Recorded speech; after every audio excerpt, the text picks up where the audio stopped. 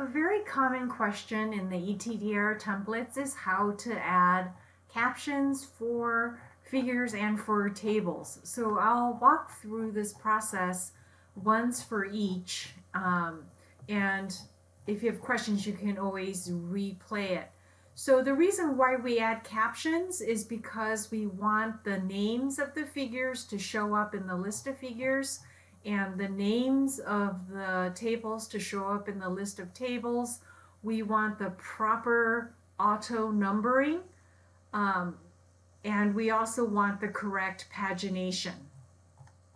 So um, this is the basic template for the uh, doctorate.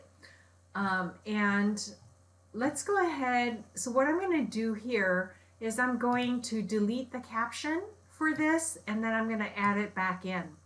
You'll notice with the gray field code, the numbering is auto numbered as I mentioned. The first one refers to chapter one and the one the second one is the number of the figure within this um, within this work. So if I were to just do it, I'll, I'll do it this way. If we were to add a second visual, and of course, you wouldn't add it like I did. You would go insert and you would go to picture and go to the to that picture. But I'm going to just do it this way so you can see how the auto numbering works as we add in a caption. So I'm going to uh, copy the informational name of the file so I have it on hand. And I'm not actually using any particular uh, source citation method. Um, if you were actually doing a source citation method, uh, you'd have to be uh, cognizant of um, whether the caption goes above or below the image. You'd have to uh, look at whether the name should be in title case or descending case and a lot of other factors.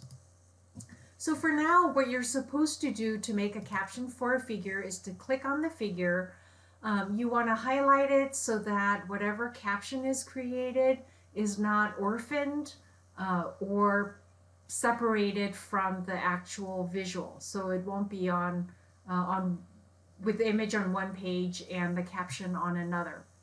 Then we go to the References tab. We go to Insert Caption. And this should be set up right? So the, the label is figure.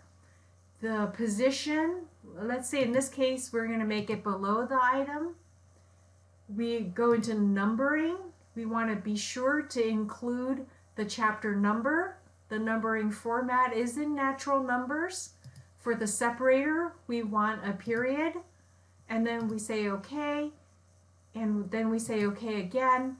And you'll see this is automatically figure 1.2. So for us, we need to say period, space, space. That's just a requirement uh, for uh, the template.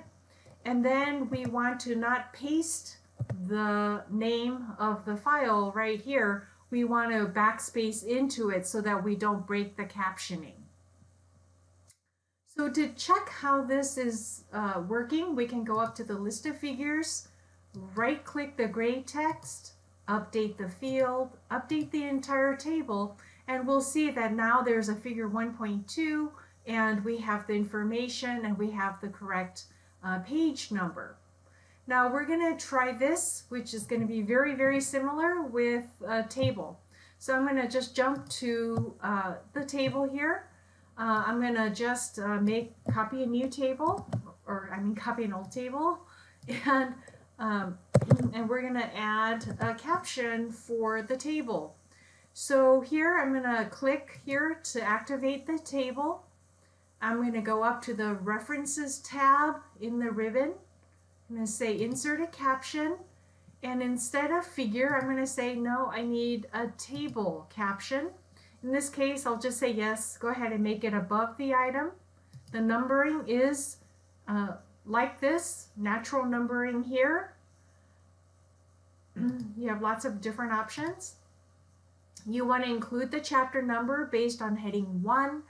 Use the period as a separator. Click OK. never, ever, ever edit this area. This area is auto-generated. Uh, I've seen students uh, put in all kinds of custom content here. You don't want to do that. So we're just going to say OK.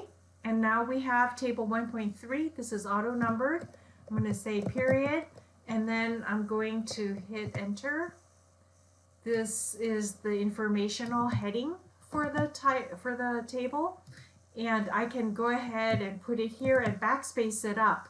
But before I do that, I'll just show you what happens if I don't have the name or the informational caption here.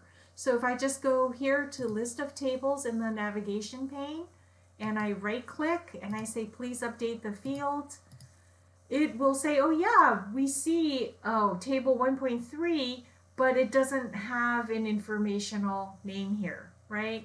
Um, it just has the dot dot dot all the way to page three. So I'm going to hold down the control. I'm going to left click with my mouse and I'm going to jump to this.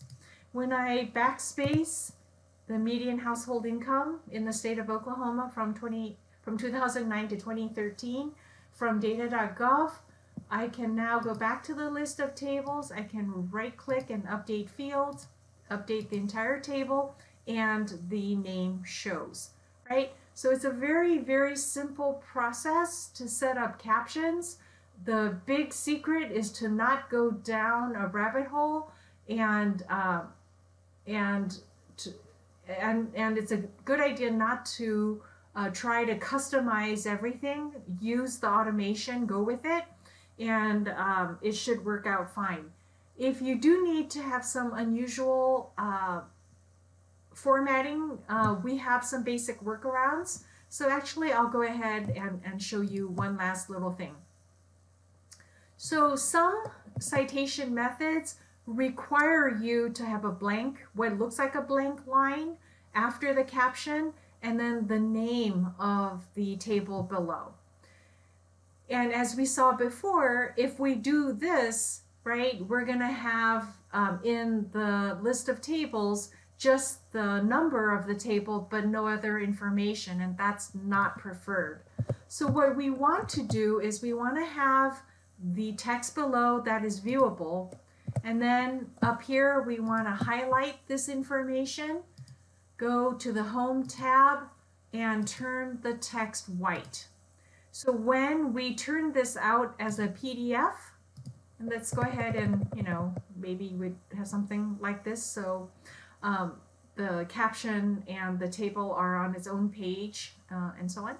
Um, if this is the, the, the look and feel that we need, uh, we can actually achieve this. We can say list of tables, right click, update the field, check, this all looks great. The informational name is here. When we jump to it here, jump to the table, uh, we have the name of the file below and this text that has been turned white is invisible to readers, right, in general. Now, if we have a very, very long name that goes over several lines, this, um, the, the name up here can be made a lot smaller. We can make it size 5 font or size 2 font or whatever so that it doesn't look like the uh, lines are separated, right? So these are some workarounds that you can do uh, in uh, Microsoft Word using the template. But this basically shows you how to put in the captions for your figures and for your tables.